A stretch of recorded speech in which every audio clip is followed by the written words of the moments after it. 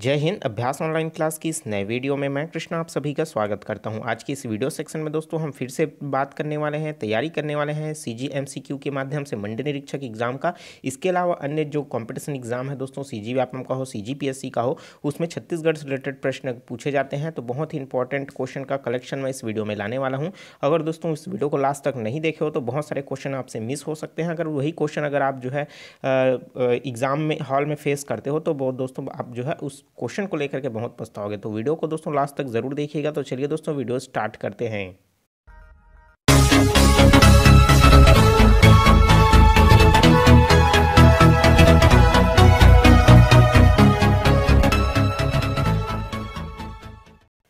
तो दोस्तों मेरे साथ भी आप जो है नीचे कमेंट बॉक्स में ज़रूर कमेंट करके बताते जाइए कि आपका जो है ये कितना क्वेश्चन जो है राइट आंसर बन रहा है, ठीक है? तो चलिए देखते हैं प्रश्न दोस्तों नगरीय स्थानीय शासन का कौन सा लक्षण जो है छत्तीसगढ़ में विद्यमान नहीं है? तो छत्तीसगढ़ का ऐसा कौन सा लक्षण है, अर्थात कौन सा विभाग है जो विद्यमान नहीं है? तो ऑप्शन देख लेते हैं, नगर निगम, नगर पालिका, नगर पंचायत या फिर नगर समिति। तो इसके लिए राइट आंसर जो हो जाएगा दोस्तों, नगर समिति जो है अभी छत्तीसगढ़ में विद्यमान नहीं है। दूसरे राज्यों में बहुत जगह ये जो है नगर समिति चलता है। आपने सुना होगा, नगर निगम, नगर पालिका, नगर पंचायत। तो दोस्तों, इसमें क्या हो जाएगा, आप जो पंचायती राज पढ़े हैं ना उन्हीं से ही रिलेटेड है ये पंचायत पंचायती राज में आपको एक ग्राम पंचायत वाला देखने को मिलता है, जिसमें सबसे नीचे स्तर में आपको ग्राम पंचायत, उसके ऊपर में दोस्तों आपको जनपद पंचायत और सबसे ऊपर में आपको जिला पंचायत देखने को मिलता है। तो ये तो दोस्तों पंचायत अर्थात ग्रामों के स्तर पर और दूसरा जो आता है, वो है नगरीय प्रशासन की इकाई पर। तो सबसे नीचे में आपको देखने को मिलता है दोस्तों नगर पंचायत, उसके बाद आता है नगर पालिका, उसके बाद आता है नगर निगम, ठीक है? तो इस तरीके से क्रम में होता है, इनकी चुनाव होता है, अध्यक्ष, उपाध्यक्ष, इनका पार्षद, है ना? तो इसमें होता है और उसी तरीके से इसमें सरपंच होता है उप सरपंच होता है और पंच होता है। तो इस तरीके से दोस्तों नगरीय प्रशासन बहुत इंपॉर्टेंट हो जाता है। यहाँ से भी प्रश्न पूछे जाते हैं, ठीक है? क्योंकि नगरीय प्रशासन है और साथ ही साथ उसका पंचायती प्रशासन है, यहाँ से प्रश्न आएँगे। जो पहला जो था वो त्रिस्तरीय पंचायती राज लाया गया था, फिर उसमें कुछ सुधार करके द्विस्तरीय लाया गया, फिर उसमें सुधार किया गया तो फिर से त्रिस्तरीय लाया गया। तो इन सबको डिटेल में मैं एक पर्टिकुलर वीडियो प्रोवाइड कर दूँगा, क्योंकि उसमें बहुत सारे चैप्टर जो है, बहुत सारे पॉइंट आते हैं। ठीक है, चलिए देखते हैं नेक्स्ट क्वेश्चन कौन सा राज्य छत्तीसगढ़ की सीमा से लगा हुआ नहीं है? तो ऐसा कौन सा राज्य है जो छत्तीसगढ़ की सीमा से लगा हुआ नहीं है? तो हमको बताना है दोस्तों, उत्तर दिया हुआ है उत्तर प्रदेश, बिहार, उड़ीसा और झारखंड। तो इसके लिए दोस्तों राइट आंसर जो हो जाएगा वो क्या हो जाएगा? आ, बिहार। ठीक है तो आपको पता होगा बिहार जो है छत्तीसगढ़ की सीमा से लगा हुआ नहीं है। उत्तर में है दोस्तों उत्तर प्रदेश उड़ीसा जो है दोस्तों आपको पूर्व में देखने को मिलेगा झारखंड आपको जो है उत्तर और पूर्व में देखने को मिलेगा। ठीक है उसी तरीके से अगर पश्चिम में देखें तो मध्य प्रदेश है और महाराष्ट्र देखने को मिलेगा। उसी तरीके से दक्षिण में अगर हम लोग देखें तो आपका आंध्र प्रदेश और तेलंगाना है। ठीक है उसी तरीके से उत्तर में क्या है? उत्तर प्रदेश और साथ साथ क्या होता है? झारखंड भी ये है ना तो ये मिला हुआ है। तो इस तरीके से ये हमारे पड़ोसी देश हैं राज्य हैं, वो जो आपको याद रखना होगा। ठीक है, याद रखने की ज़रूरत नहीं है। आप तो सिंपल सा कंपटीशन एग्ज़ाम प्रिपरेशन कर रहे हैं तो आपको ज़रूर पता होगा। ठीक है निम्नलिखित में से कौन सा शैल समूह सबसे प्राचीन तथा छत्तीसगढ़ की धरातलीय बनावट में प्रमुख है? तो आपको पता होगा दोस्तों कि जो सैल समूह हो, उसको अलग अलग भागों में विभक्त किया गया है और हम लोग इसके जीवन काल के अनुसार, अर्थात मतलब इसके निर्माण काल के अनुसार देखें तो सबसे पुराना जो है, वो क्या है दोस्तों? आर्कियन शैल समूह है। तो इसमें प्राचीनतम बोला गया है ना तो सबसे क्या हो जाएगा? आर्कियन शैल समूह हो जाएगा, जो कि सबसे अंदर में पाया गया है और पाया जाता है और उसके ऊपर में गुड़वाना धाड़वाड़ है, कड़प्पा है, ये सब भी पाए जाते हैं। लेकिन जो है सबसे पुराना बोला जा रहा है ना तो प्राचीनतम में क्या हो जाएगा? आर्कियन शैल समूह जो है आएगा। ठीक है? तो चलिए देखते हैं नेक्स्ट क्वेश्चन कौन सी मिट्टी छत्तीसगढ़ में सर्वाधिक पाई जाती है? तो कौन सी मिट्टी है जो छत्तीसगढ़ में सर्वाधिक पाई जाती है? तो लाल पीली मिट्टी है, काली मिट्टी है, लाल बलुआ मिट्टी है या फिर लेटराइट मिट्टी है? तो इसका राइट आंसर जो हो जाएगा दोस्तों, वो हो जाएगा लाल पीली मिट्टी हो जाएगा, ठीक है? तो जो सबसे ज़्यादा सर्वाधिक मात्रा में जो पाया जाता है, वो है लाल पीली मिट्टी। तो दोस्तों, अगर इसका डिटेल में बता, बात करें तो लाल पीली जो मिट्टी है, वो पचास से पचपन प्रतिशत तक जो है पाया जाता है पूरे छत्तीसगढ़ में, ठीक है? और इसको सामान्य तौर पर जो कहा जाता है, इसका छत्तीसगढ़ी नाम है मटासी, ठीक है? स्थानीय नाम में इसके क्या बोला, पूछा जाता है, मटासी।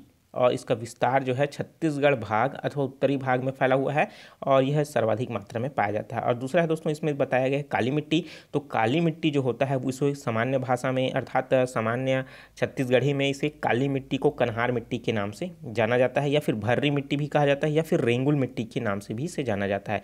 अगर इसके काली मिट्टी का निर्माण की बात करें तो बेसाल्ट युक्त चट्टानों के अवसाद से निर्मित होता है, जो लावा निर्मित मिट्टी होता है। बारीक कण होने के कारण क्या होता है, ये बहुत ही बारीक होता है है और इसमें जल धारण जो क्षमता होता है वो सर्वाधिक होता है। इस वजह से इसमें क्या होता है? चीका की स्थिति हो जाती है, ठीक है? अब बात करते हैं लाल बलुआ मिट्टी। तो लाल बलुआ जो मिट्टी होता है, उसमें हल्का सा रे, बलुआ मतलब क्या होता है? रेती, है ना? तो रेत उसमें क्या होता है? उपस्थित होता है। इस वजह से क्या होता है? उसकी जल धारण क्षमता कन्हार मिट्टी, लाल पीली मिट्टी से कम हो जाता है। अगर इसका विस्तार की बात करें तो दंतेवाड़ा हो गया, बस्तर, कांकेर, राजनांदगांव, बालोद, इन सब के हिस्से में लाल बलुआ मिट्टी जो है पाया जाता है। कुछ हिस्सा जो है कन्हार मिट्टी का राजनांदगांव में पाया जाता है। ठीक है? लेटराइट मिट्टी की बात करें दोस्तों, सबसे बड़ा जो कण होता है वो लेटराइट का मिट्टी का होता है। मतलब इसको क्या कहा जाता है? भाठा मिट्टी के नाम से भी इसको जाना जाता है। इसमें लाल रंग का जो कण होता है, इस वजह से उसमें मुरम होने की वजह से ये क्या होता है? हल्का सा लाल होता है। ठीक है? तो ये लेटराइट मिट्टी जो है, इसमें जल धारण क्षमता सबसे कम होता है। ठीक है? तो आप इसको याद रखिए। अगर इसके परसेंटेज की बात करें तो सब सबसे ज़्यादा जो है लाल, काल लाल पीली मिट्टी का है, उसके बाद काली मिट्टी, लाल बलुआ मिट्टी, उसके बाद सबसे उसमें लेटराइट मिट्टी का, ठीक है? चलिए देखते हैं नेक्स्ट क्वेश्चन निम्नलिखित में से कथन को पढ़िए और हमको बताना है कौन सा सही है, कौन सा गलत है। देखते हैं पहला पॉइंट है, छत्तीसगढ़ का उत्तरी भाग गंगा अपवाह तंत्र का हिस्सा है। तो बिल्कुल हाँ ऊपर में जो है दोस्तों जो गंगा सोन अपवाह तंत्र हमने जो पढ़ा है जहाँ से दोस्तों आपका जो है गोपाद बनास नदी आगे जाकर के सोन नदी में मिलता है और सोन नदी कहाँ जाकर के मिलता है? गंगा नदी में जाकर के मिल जाता है। तो ऊपर वाला हिस्सा पूरा क्या है? गंगा अपवाह तंत्र है। उसके बाद छत्तीसगढ़ का सर्वाधिक भाग महानदी अपवाह तंत्र का हिस्सा है। बिल्कुल हाँ छत्तीसगढ़ का जो धमतरी सिहावा से निकल करके दोस्तों पूरा घूमते हुए, पूरे मध्य छत्तीसगढ़ को घूमते हुए कहाँ चला जाता है? उड़ीसा में चला जाता है। तो मध्य भाग पूरा किसका हिस्सा हो गया? महाभा महानदी अपवाह तंत्र का हिस्सा हो गया। उसी तरीके से छत्तीसगढ़ का दक्षिण भाग जो है, गोदावरी अपवाह तंत्र का हिस्सा है। बिल्कुल हाँ क्योंकि छत्तीसगढ़ के दक्षिण में गोदावरी नदी बहती है, जहाँ पास इंद्रावती, सबरी नदी, इनके क्या है, सहायक नदी है। ठीक है? तो ये क्या हो जाएगा? तीनों के तीनों इसके लिए क्या हो जाएगा दोस्तों? करेक्ट आंसर जो है, इसके लिए हो जाएगा। ठीक है? चलिए देखते हैं नेक्स्ट क्वेश्चन। छत्तीसगढ़ की जलवायु सामान्यतः कैसी है? तो छत्तीसगढ़ की जो जलवायु है, सामान्यतः कैसा है? शीत आधारित है, शुष्क पर है या फिर मानसून आधारित है या फिर आर्द्र है। तो भाई, जब भी वर्षा होती है, वो मानसून के आधार पर ही होता है, ठीक है? तो हमारा जो छत्तीसगढ़ है, वो मानसूनी आधारित जलवायु है, ठीक है? तो ऑप्शन नंबर सा क्या हो जाएगा? इसके लिए करेक्ट आंसर हो जाएगा। चलिए देखते हैं नेक्स्ट क्वेश्चन। निम्नलिखित में से कौन सा दंड कारण्य का भाग नहीं है? तो दंड कारण्य का जो भाग नहीं है, वो कौन सा नहीं है? तो कोटरी बेसिन, बस्तर का पठार अभुज माड़िया की पहाड़ी, क्या? या सोन बेसिन। तो दोस्तों कोटरी का जो पहाड़ है, आपको पता होगा कोटरी नदी है ना, जो कि राजनांदगांव से निकलता है और आगे चल करके इंद्रावती से मिल जाता है, जो चूँकि क्या हो जाएगा, ये दंडकारण्य का पठार का हिस्सा आ जाता है। बस्तर तो है भाई तो ये भी तो बस्तर में ही आएगा, है ना? दंडकारण्य अभुजमाड़े की पहाड़ी, जो कि नारायणपुर में स्थित है, ये भी दंडकारण्य का है। सोन बेसिन तो सोन बेसिन दोस्तों नर्मदा सोन का ये जो है हिस्सा है।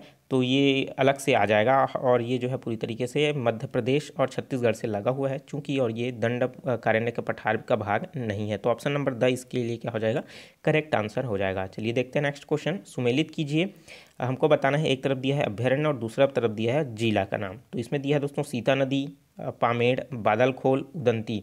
तो इन सब के बारे में मैंने डिटेल में पहले भी बता दी हूँ दोस्तों क्योंकि यहाँ से प्रश्न जो है पूछा जाता है। तो सीता नदी जो है है ना? तो सीता नदी जो है कौन से ज़िले में आता है? तो वो धमतरी ज़िले में आता है। और सीता नदी जो है सबसे पुराना है ठीक है? सबसे पुराना क्या है दोस्तों? अभ्यारण्य है। अब बात करते हैं पामेड़। तो पामेड़ जो है दोस्तों, वो दंतेवाड़ा जिला में स्थित है, ठीक है? तो पामेड़ जो है कहाँ स्थित है? दंतेवाड़ा जिला में स्थित है और साथ ही साथ दोस्तों, भैरमगढ़ भी दंतेवाड़ा में ही स्थित है, ठीक है? अब बात कर लेते हैं भोरम देव सॉरी बादल खोल तो बादल खोल दोस्तों, जसपुर ज़िले में स्थित है और बादल खोल जो है दोस्तों, छत्तीसगढ़ के सबसे छोटा जो है पुराना सॉरी, सबसे छोटा जो है अभ्यारण्य की श्रेणी में आता है, ठीक है? और जो कि कहाँ है? जसपुर में स्थित है। अब बात कर लेते हैं उदंती तो उदंती दोस्तों गरियाबंद ज़िले में स्थित है, ठीक है? तो उदंती का जो गरियाबन मतलब गरियाबन में जो स्थित है कौन सा? उदंती, और उसी के नीचे जो है दोस्तों धमतरी में तो सीता नदी, इन दोनों को मिला करके बायो रिज़र्व जो है घोषित किया गया है, ठीक है? जहाँ पास शेरों का विचरण एक अभ्यारण्य से दूसरा अभ्यारण्य क्योंकि दोनों मिला हुआ है, और सीता नदी जो अभ्यारण्य है, उसके बीचों बीच से क्या होता है? सीता नदी जो है गुजरती है, यहाँ पर इस जो है मोर की जो है संरक्षण प्राप्त हुआ है ठीक है? चलिए तो इस तरीके से अब मैंने सुमेलित करके बता दिया। यहाँ पास क्या हो जाएगा? सीता नदी का हो जाएगा दोस्तों आपका धमतरी, उसी तरीके से पामेड़ का हो जाएगा दंतेवाड़ा और बादलखोल का हो जाएगा जसपुर, गरिया और उदंती का हो जाएगा, क्या हो जाएगा? गरियाबंद, ठीक है? तो इस तरीके से क्रम हो जाएगा। चलिए देखते हैं नेक्स्ट क्वेश्चन कौन सा सुमेलित नहीं है? तो भाई, सुमेलित कौन सा नहीं है? हमको बताना है, अमृतधारा जलप्रपात, हसदो नदी पर, रानी दरहा जो है जलप्रपात है, सबरी नदी पर, केंदई जलप्रपात है, अरपा नदी पर सात धारा जलप्रपात है दोस्तों, इंद्रावती नदी पर। तो हमको जो सुमेलित नहीं है ना, उसको बताना है। अमृतधारा जलप्रपात कोरिया में है, जो कि हसदेव नदी पर, हसदो नदी पर बना है, ठीक है? तो ये बिल्कुल करेक्ट है। रानी दरहा जो है सबरी नदी पर बना है तो ये भी बिल्कुल सही है। केंदई जो जलप्रपात है, वो अरपा नदी पर बना है तो ये क्या हो जाएगा? गलत हो जाएगा। तो केंदई नदी जो है दोस्तों, केंदई जो जलप्रपात है, वो केंदई नदी पर बना हुआ है, जो कि हसदेव का क्या है? सहायक नदी है, ठीक है? सात धारा जलप्रपात जो है, इंद्रावती नदी पर बना हुआ है। तो ये भी दोस्तों बिल्कुल करेक्ट है। तो ऑप्शन नंबर स क्या हो जाएगा? इसके लिए सही हो जाएगा, जो कि सुमिलित नहीं है। चलिए देखते हैं नेक्स्ट क्वेश्चन। निम्नलिखित में से कौन सा बाँध सबसे पुराना है? तो भाई जो सबसे पुराना बाँध है, वो कौन सा है? सोंडूर सिकासार, पैरी या फिर रुद्री? तो सबसे राइट आंसर जो हो जाएगा क्या हो जाएगा दोस्तों? रुद्री बाँध, है ना? तो ये जो है, सबसे पुराना है। अगर इसके निर्माण की बात करें तो 1915 ठीक है? तो और उसी समय इसी रुद्री बाँध पर एक, बाद में चल करके जब स्वतंत्रता आंदोलन के लिए किया जा रहा था विरोध तो उसी समय इसमें एक सत्याग्रह भी हुआ था, ठीक है रुद्री बाँध पर। तो आप मुझे उसके बारे में डिटेल में दोस्तों नीचे कमेंट बॉक्स में ज़रूर बताइएगा, क्योंकि वहाँ पास जो है नहर से पानी छोड़ दिया गया था, है ना? तो वो कंडेल नहर है, वहीं पास ही क्या है? रुद्री है, यहाँ पास भी क्या हुआ है? एक आंदोलन हुआ है। तो वीडियो कैसा लगा दोस्तों? कमेंट करके ज़रूर बताइएगा, और जो चीज़ समझ नहीं आ रहा है तो नीचे कमेंट करके ज़रूर पूछ लीजिएगा, ठीक है? जो स्टूडेंट नए हैं, चैनल को ज़रूर सब्सक्राइब करके नोटिफिकेशन बिल आता है, ज़रूर ऑन कर लीजिएगा, क्योंकि इसी तरीके का ज्ञानवर्धक वीडियो आपके लिए लगातार मैं लाते रहता हूँ, ठीक है? तो चलिए मिलते हैं दोस्तों और प्लेलिस्ट में जा के भी चेकआउट कर लीजिए। बहुत सारी वीडियो आपके लिए प्रोवाइड है, जो आपके लिए बहुत ही हेल्पफुल है। तो चलिए मिलता है नए वीडियो में, नए जानकारी के साथ। तो मुझे दीजिए इजाज़त। Take care all the best जय हिंद।